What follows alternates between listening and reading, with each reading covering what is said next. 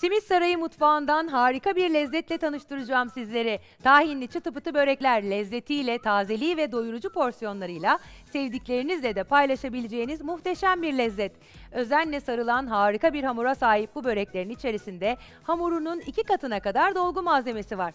Çıtır çıtır bir hamur ve tahinin buluşması ile ortaya çıkan bu muhteşem lezzete hayran olacaksınız.